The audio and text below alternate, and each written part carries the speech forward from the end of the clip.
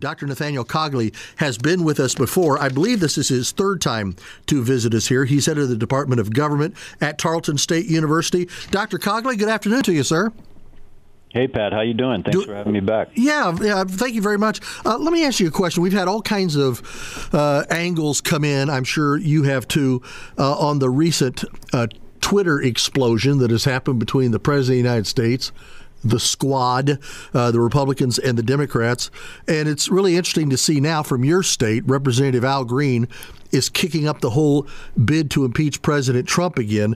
Now, should the president have said the tweet the way he did it? That's debatable. Should he have done it when he did it? Also open for conversation.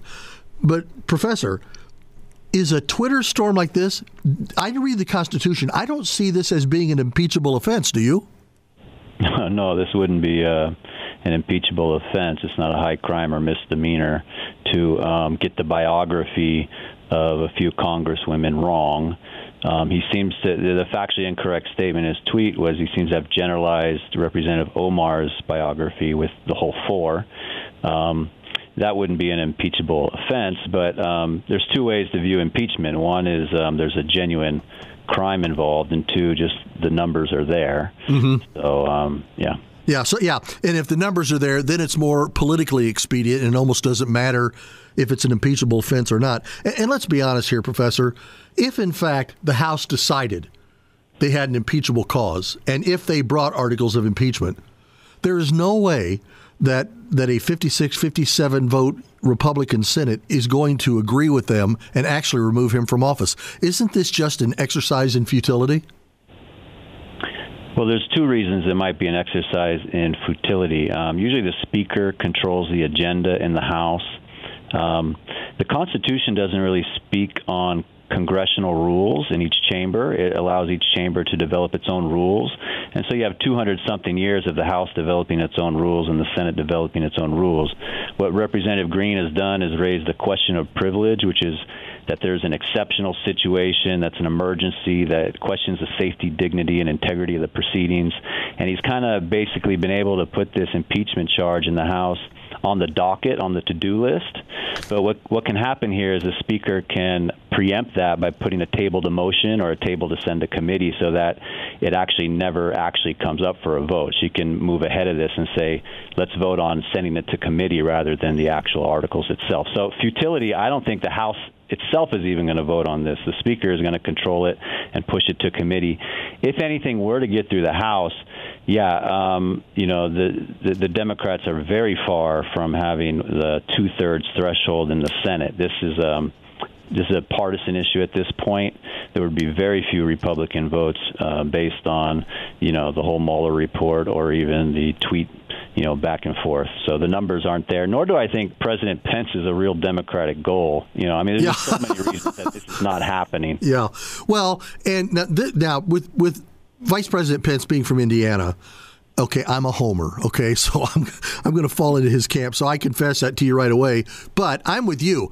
President Pence can't be their answer because I've got to think that Mike Pence is going to put forward a whole lot of the exact same agenda uh, that Donald Trump is, maybe without a little bit of the circus act. I mean, you know, which gives the Democrats reason and cause to attack the president now and then. A, a President Pence would kind of take that off the table, wouldn't he?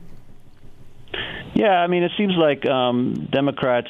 Trump has an independent streak to him, right? So he's not a, a, a necessarily uh, budget balancer as his priority. He's talked about a $2 trillion infrastructure program, something Democrats should like.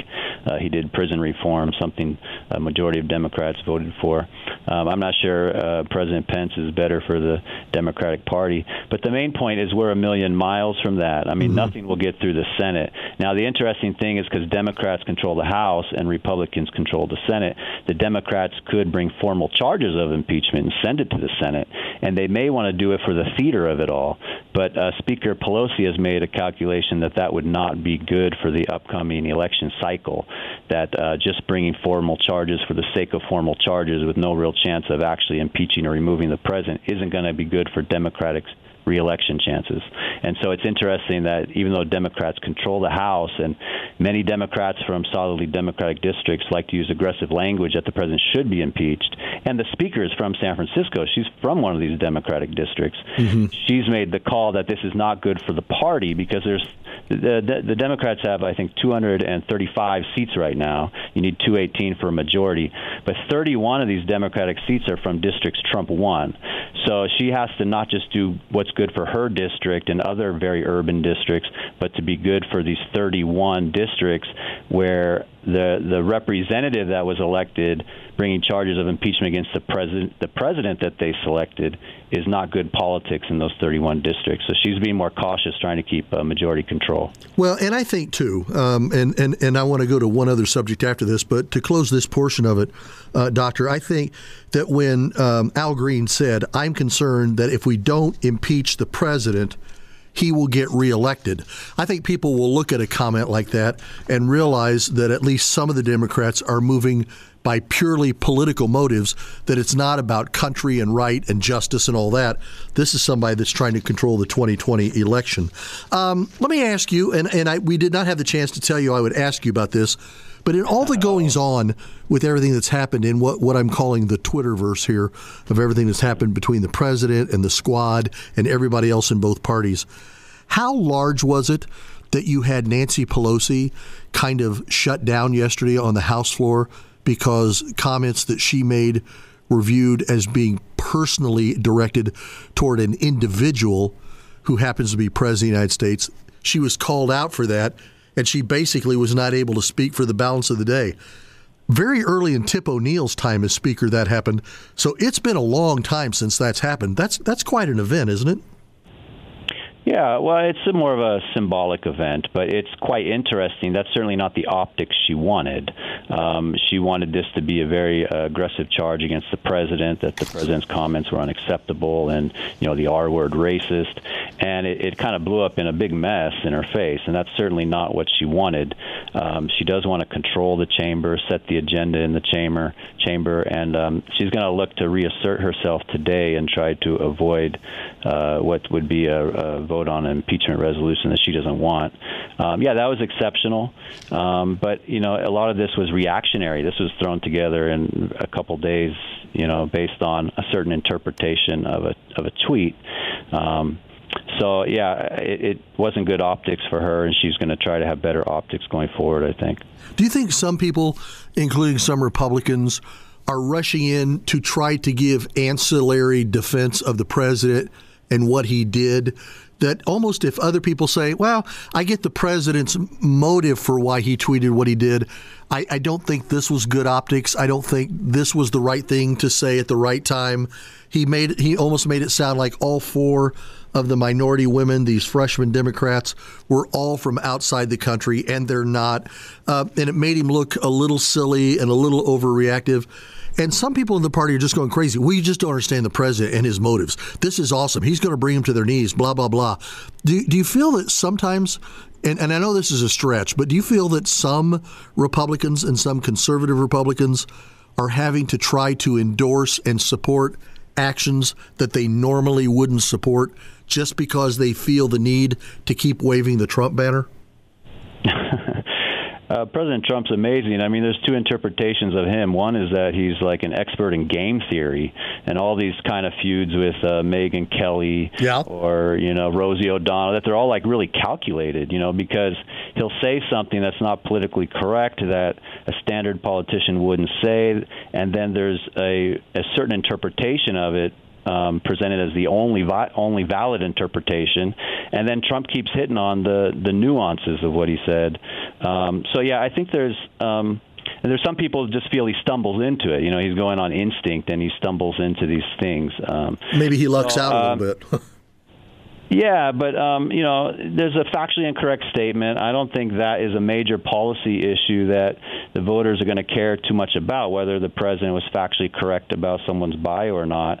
But uh, Trump relishes this battle over policy, over border security, over foreign support for Israel, over uh, you know not just letting uh, people enter illegally into the country, but to detain and process. Um, Trump relishes these uh, policy debates. And if you read through the Twitter feed, I mean, that's what 99% of it is. And then there's this one tweet where he gets the bio wrong. Um, so yeah, I do think that um, maybe some people have learned their lessons. You know, there's been a, a bunch of moments in the Trump campaign and presidency where the mainstream media says, "Oh, this is it. This is different. This is the final nail," and it's it turns out not to be. And it turns out that uh, President Trump is relatively popular in the Republican Party, and Republican voters would like to see, uh, you know, the the Republicans support the president, especially when something's open for interpretation. Yeah, and, and I think a year from November, nobody's going to remember this week as they're going into the ballot booth. I, I just don't think it's going to be that large on the landscape. Hey, Dr. Nathaniel Cogley, always appreciate your insights there, sir, from Tarleton State. I hope things are good for you down there in Texas. In the next couple days, we're going to have enough heat up here that I'm just going to can it and send it back down there because you guys are much better handling it than we are. But listen, for today, I appreciate you very much you being on. I look forward to talking again. Thanks. Thanks so much, Pat. Yep, talk to you soon. Dr. Nathaniel Cogley from Tarleton State University. Podcasts by Federated Media.